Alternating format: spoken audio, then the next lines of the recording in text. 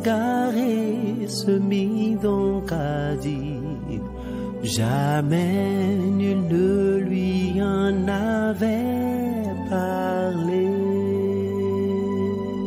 Apostolat Time, c'est une émission de Homo Voice consacrée au ministère de la foi. Apostolat Time, c'est la parole de Dieu par un oint de Dieu pour le peuple de Dieu. Apostolat Time, c'est le salut, c'est le salut.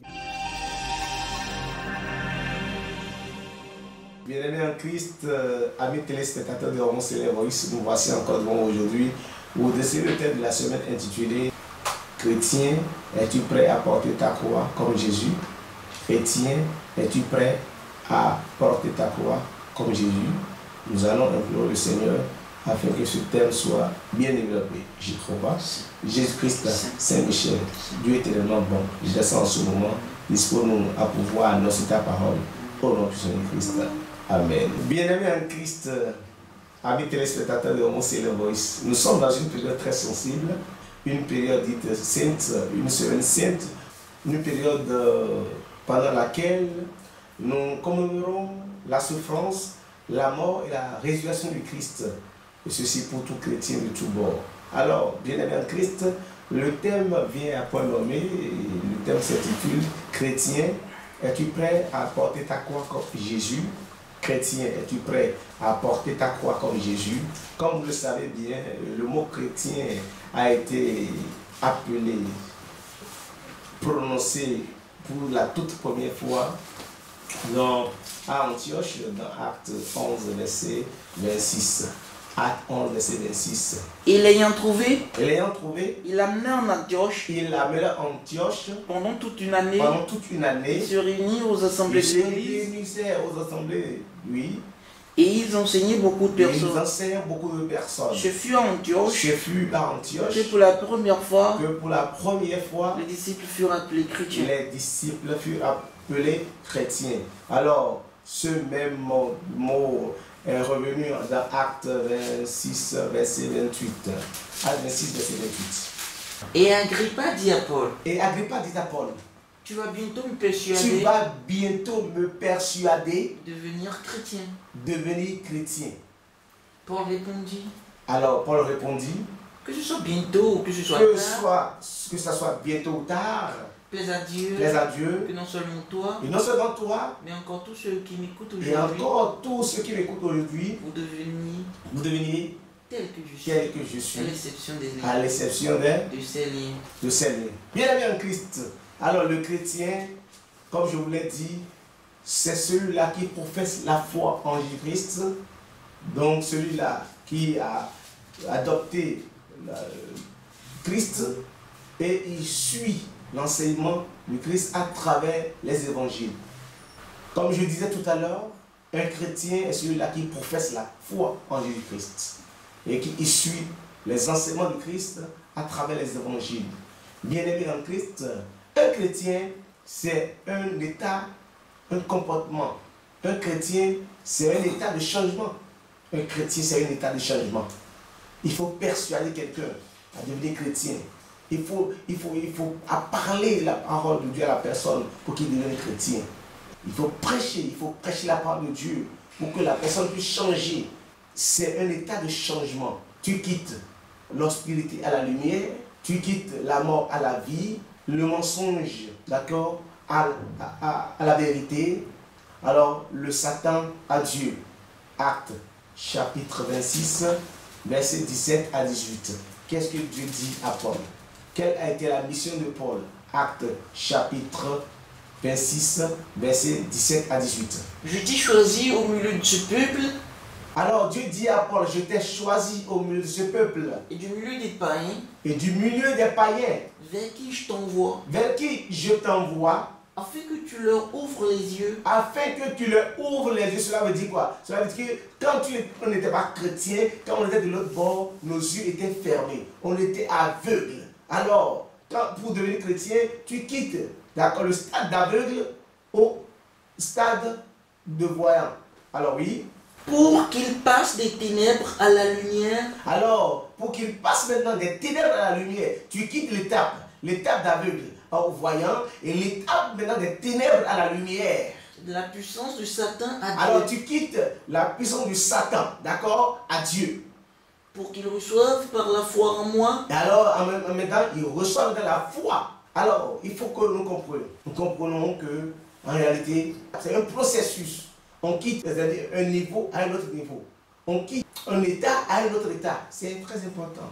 Alors, si la Bible aujourd'hui parle de chrétien, il dit chrétien, es-tu prêt à supporter ta croix? Comme Jésus Bien-aimé en Christ.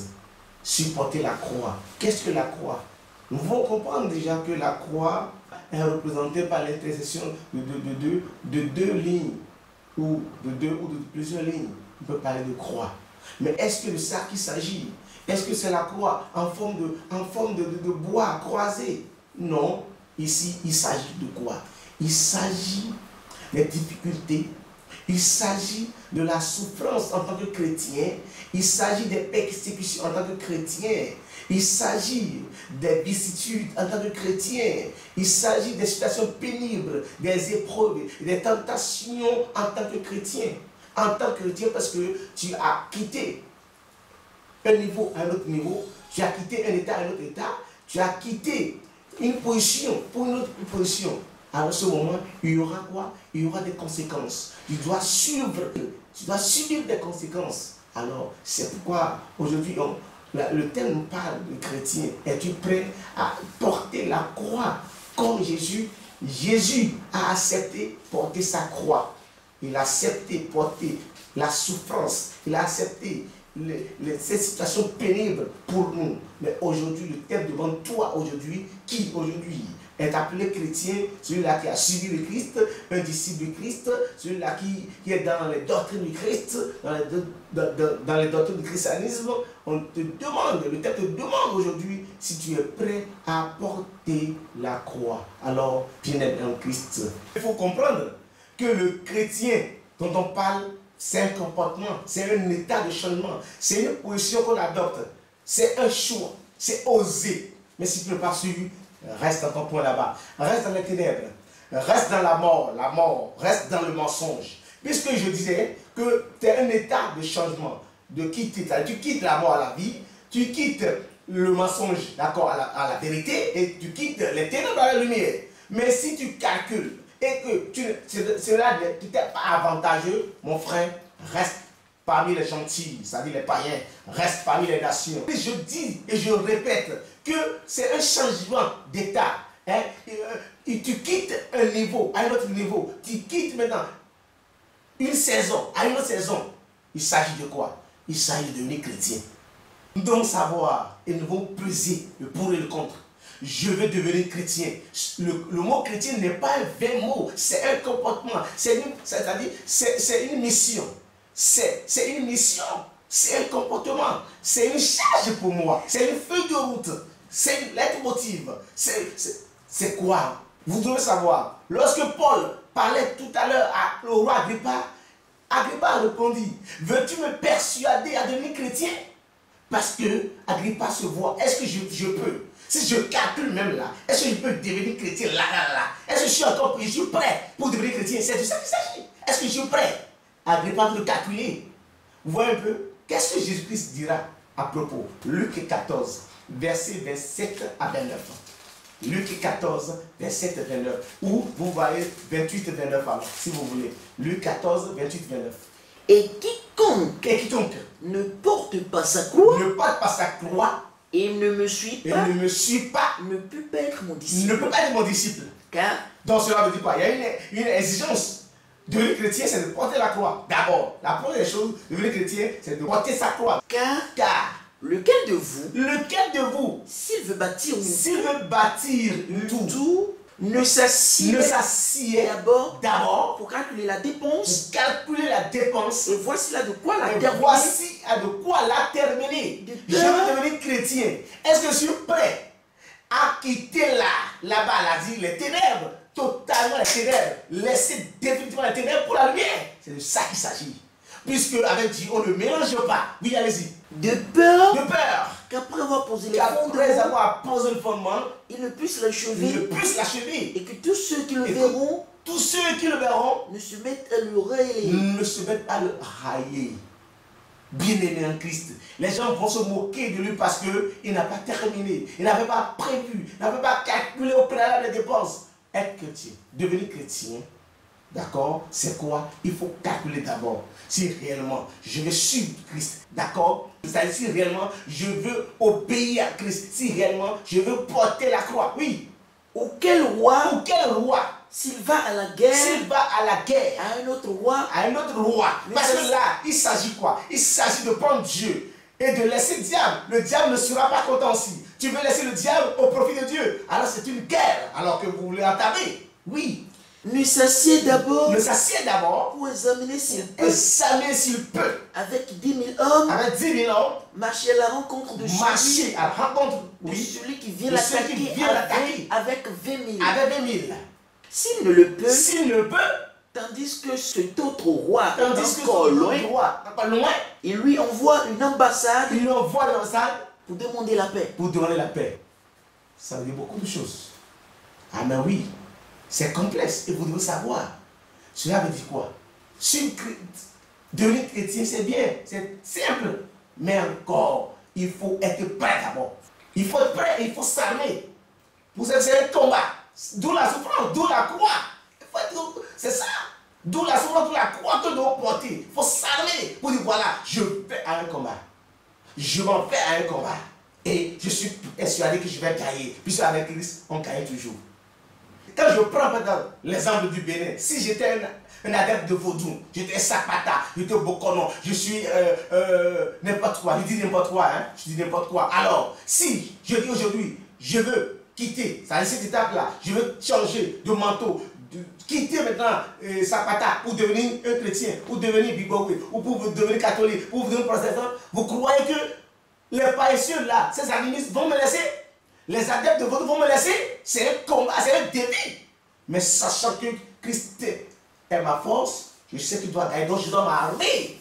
Je dois porter Christ. C'est de ça qu'il s'agit. Et prêt maintenant à garder les souffrances, à savoir que en Christ, on souffre, mais quand on souffre, on gagne toujours. On ne souffre pas injustement. On souffre la croix. On souffre, mais alors pour gagner la couronne de vie, tel que Paul l'a dit. Qu'est-ce que la parole nous dit pour un chrétien que nous sommes 1 Pierre 4, verset 12 à 16. 1 Pierre 4, 12 à 16. Bien-aimés, Bien-aimés, ne soyez pas surpris ne soyons pas surpris puisque nous avons abandonné le diable pour Dieu. Nous avons abandonné les ténèbres pour la lumière. Nous avons abandonné la mort pour la vie. Nous avons abandonné le mensonge pour la vérité. Alors, qu'est-ce que Pierre nous dit? Ne soyez pas surpris comme d'une chose étrange comme d'une chose étrange qui nous arrive qui nous arrive. de la fournaise Louis de Fournaise. qui est au milieu de vous pour vous éprouver. Alors, nous devons avoir des tribulations. Nous devons avoir des épreuves. Oui, allez-y, s'il vous plaît.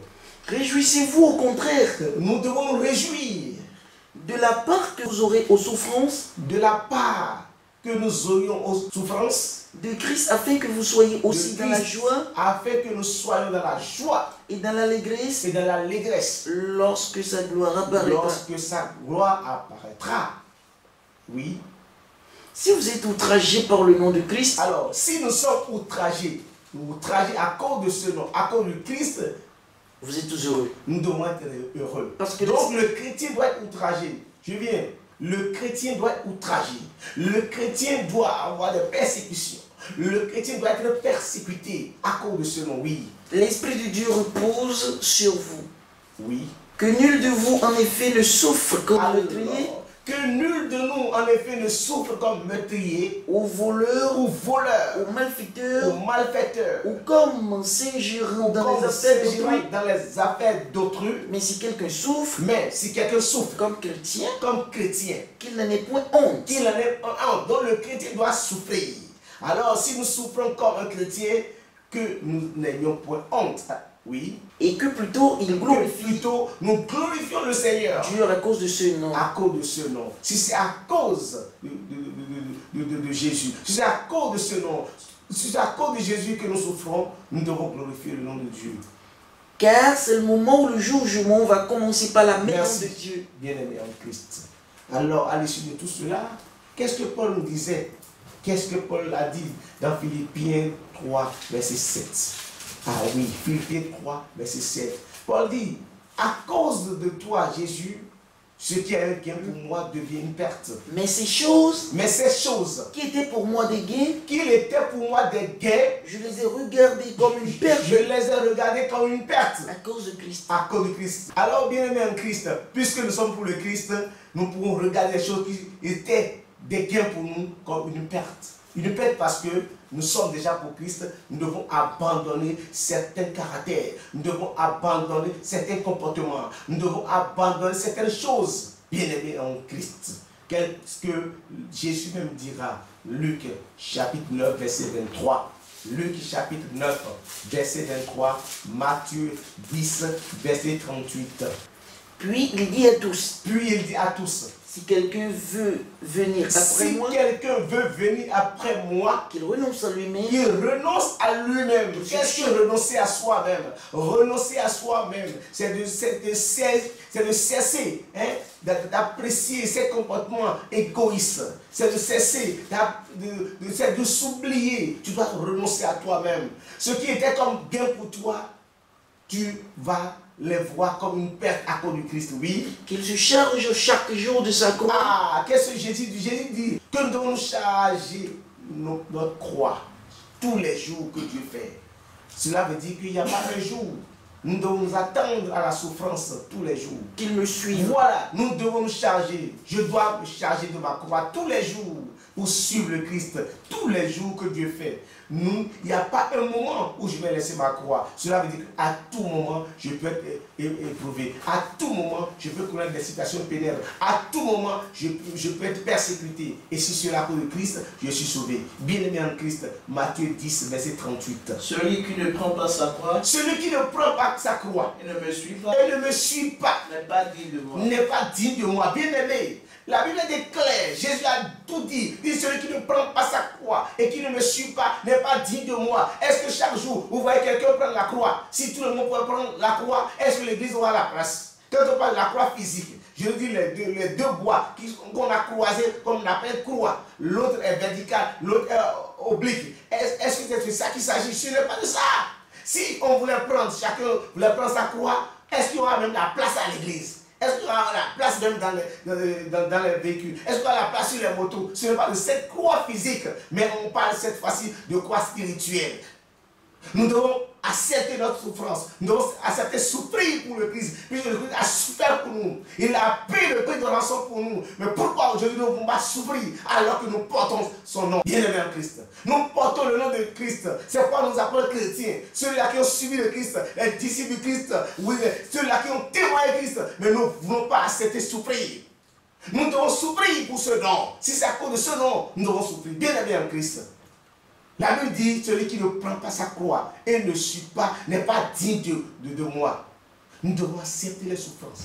Et nous constatons que lorsqu'il y a des souffrances, lorsque nous sommes dans des, difficultés, nous disons que Dieu nous a oubliés, Dieu nous a abandonnés, Dieu nous a rejetés. Non, chrétien, ce n'est pas une vie paisible. Un chrétien, ce n'est pas une vie sous climatisation. Un chrétien, ce n'est pas une vie de bonheur simplement. Le chrétien doit savoir qu'il doit souffrir d'abord. Un chrétien qui n'a pas connu la souffrance n'est même pas un chrétien. Le chrétien doit connaître la souffrance, puisque ce n'est pas du Christ. Si nous devons mettre nos pas dans les pas du Christ, si le Christ est un modèle pour nous, nous devons souffrir, bien aimé en Christ. C'est de ça qu'il s'agit. Et qu'est-ce que Paul dira dans 1er Corinthiens chapitre 10, verset 13 1er Corinthiens chapitre 10, verset 13. Aucune tentation Aucune tentation ne vous est survenue vous qui n'ait été qui humaine. n'ait été humaine. Et Dieu, Et Dieu, qui est qui est fidèle, ne permettra pas que vous soyez que nous soyons tentés tentés au-delà de au-delà de votre. Voilà. Le fidèle doit être tenté. Vous savez même que Jésus-Christ, Jésus-Christ même, lorsqu'il quittait, d'accord, euh, ces 40 jours, 40 nuits de, de, de- de jeûne, a été tenté. Il a été tenté par le diable. Mais il a tout fait. Pourquoi? Il a tout fait pour, pour, il a tout fait pour résister devant Satan. Nous devons résister. Nous devons résister. Puisque Jésus-Christ nous a, a- a- nous a appris à résister. Il nous a appris à surmonter les souffrances. Il nous a appris à surmonter les persécutions. Nous devons être persécutés, bien aimés en Christ. C'est de ça qu'il s'agit. La croix, c'est la persécution, la vie pénible que, que nous vivons, les situations douloureuses que nous allons rencontrer dans l'exercice de notre mission. Christ est venu pour nous. Christ est venu porter sa croix. Nous sommes dans une période euh, que nous, où nous commémorons d'accord, euh, la souffrance du Christ. On parle de la période sainte, une semaine sainte, où on rappelle la souffrance du Christ. Dieu a tant aimé le monde qu'il envoie son Fils unique afin que quiconque croit en lui ne périsse pas, mais qu'il la vie éternelle. Alors, pour payer sur rançon, ce n'est pas de l'amusement. Christ a souffert. Christ a été humilié. Allez dans Philippiens 2, Philippiens 2, verset 7. Christ a souffert. Donc c'est de ça que ça On parle de cette croix-là. Non seulement Christ a porté la croix physique que nous voyons, Mais- mais la croix, la croix spirituelle que nous ne voyons pas, c'est quoi? Oui, Philippiens 2, 7. Mais s'est dépouillé lui-même. Christ s'est dépouillé lui-même.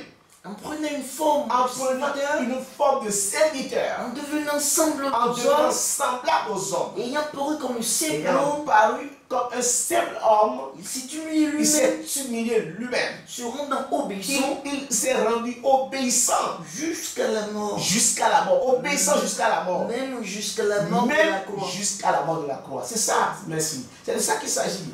Tu dois t'humilier. Tu dois être obéissant. C'est ça la croix dont on parle. Des gens, d'accord, qui ne pourraient même pas te parler aujourd'hui, ils vont te parler parce que tu es en Christ.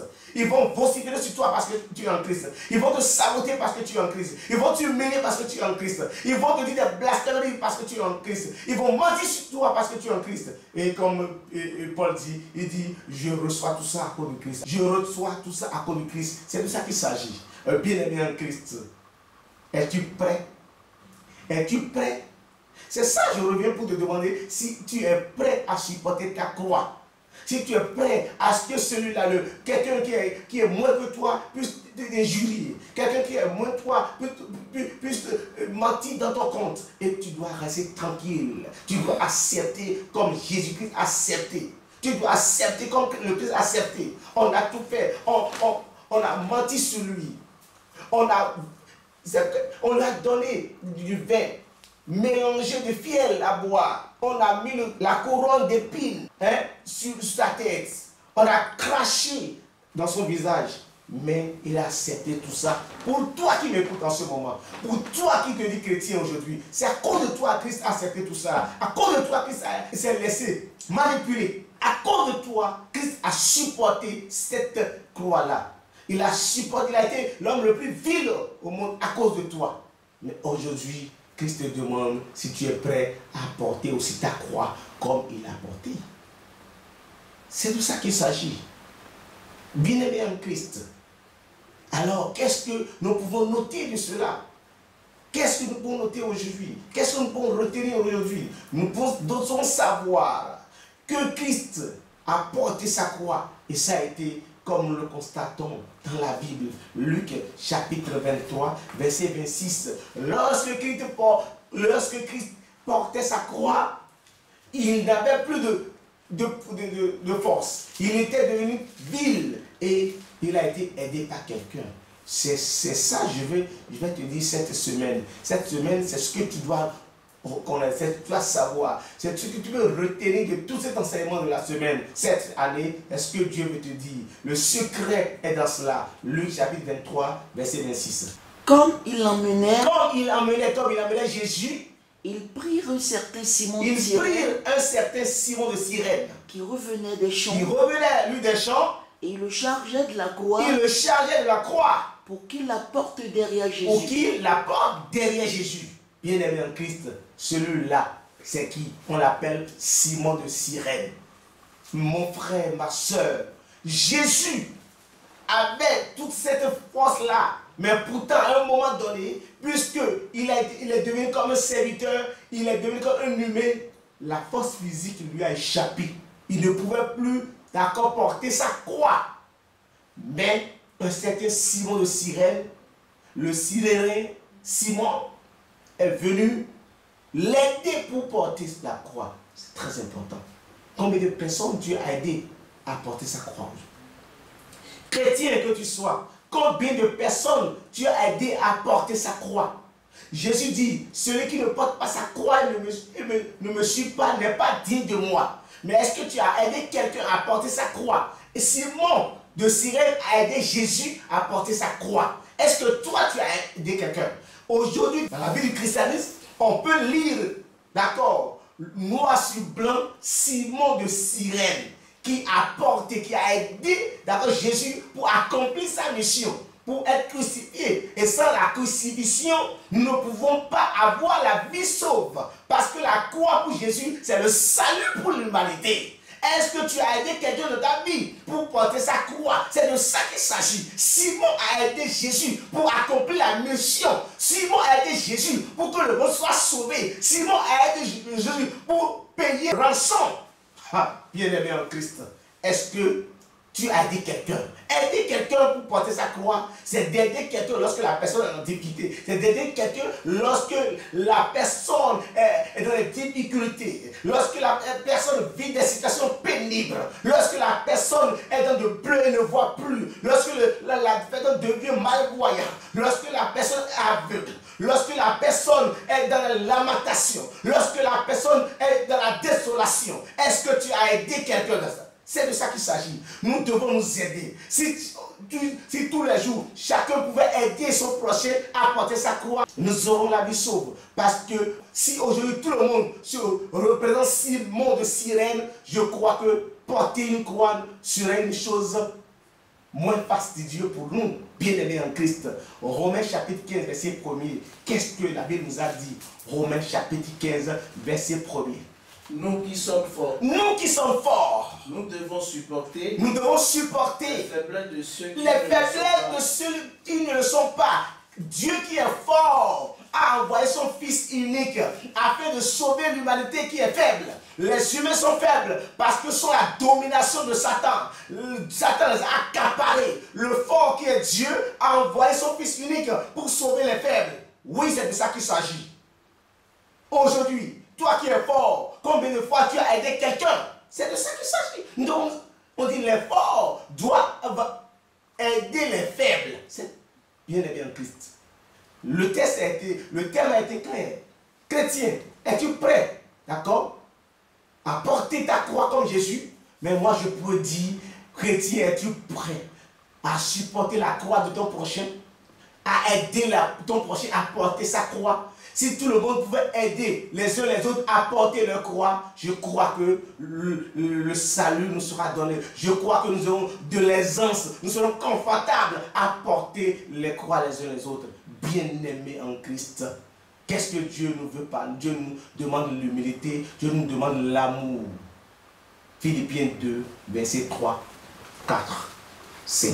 Philippiens 2, Ne 3, 4. faites rien par esprit de parti Ah, ne faites rien par esprit de parti. Ou par vaine ou gloire, par belle gloire, mais que l'humilité. Mais que l'humilité. Vous fasse regarder. Nous fasse regarder les autres. les autres. Comme étant étant au-dessus de de nous-mêmes. Oui, que chacun de vous, que chacun de nous, au lieu de considérer au lieu de ses considérer propres ses propres intérêts, intérêts, considère, considère aussi, ceux, ceux des autres. des autres. Ayez en nous les sentiments qui étaient en Jésus-Christ. Christ, ayez en nous les sentiments qui étaient en Christ. Bien-aimés en Christ. Nous devons nous laisser, d'accord, notre égoïsme. Nous devons euh, euh, oublier notre égoïsme et nous devons aider. Nous devons regarder celui qui est devant nous comme supérieur à nous et nous devons nous humilier. Et chacun va porter la croix de l'autre pour que nous soyons sauvés. Dieu nous demande par là l'amour, l'humilité. Pour finir, Philippiens 3, verset 20. Philippiens 3, verset 20. Mais notre cité à nous? Notre cité à nous est dans les cieux, est dans les cieux. d'où nous attendons aussi comme sauveur le Seigneur Jésus, nous attendons ton Sauveur Jésus. qui transformera Qui le corps de notre humiliation corps de notre humiliation. Nous sommes laissés humiliés sur la terre, mais nous serons glorifiés. Christ a été glorifié, nous serons aussi glorifiés. Nous devons dépouiller de notre orgueil, nous nous dépouiller de notre égoïsme pour être élevés, dans- puisque notre cité n'est pas ici sur la terre, c'est en haut. Oui. En le rendant semblable au corps de la sa gloire, Oui. par le pouvoir qu'il a de s'assujettir toutes choses. Ouais. Que Dieu nous bénisse. Que Dieu nous bénisse. Que Dieu nous élève. Que cette semaine, nous demandons l'amour de Dieu. Nous demandons l'humilité. Nous demandons l'entraide les uns les autres. Nous devons supporter les uns les autres. Supporter la croix de ton prochain pour être sauvés. Au nom puissant de Jésus-Christ. Jéhovah, Jésus-Christ, Saint-Michel. Dieu est tellement bon. Aide-nous à comprendre les Écritures, à pouvoir marcher sur ta voie. Au nom puissant de Christ. Amen. Amen. Amen. Le Seigneur Jésus-Christ.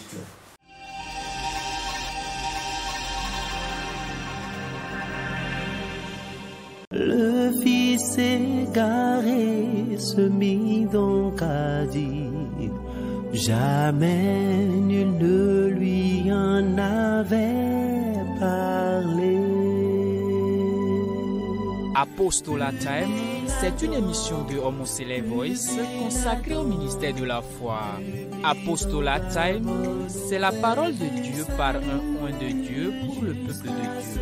Apostolat Time, c'est le salut. C'est le salut.